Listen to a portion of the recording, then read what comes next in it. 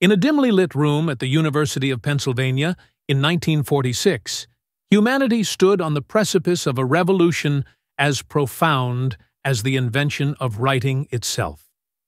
On February 15th, the world would witness the unveiling of ENIAC, the Electronic Numerical Integrator and Computer, a machine that would forever alter the course of human civilization.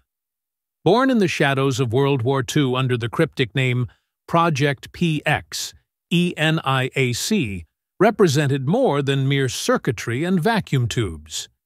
It embodied humanity's relentless drive to extend the boundaries of what was possible. This giant brain, occupying an entire room, hummed with the energy of 18,000 vacuum tubes, each one a tiny beacon illuminating the path toward our digital future. Though designed for calculating artillery trajectories, Destiny had grander plans.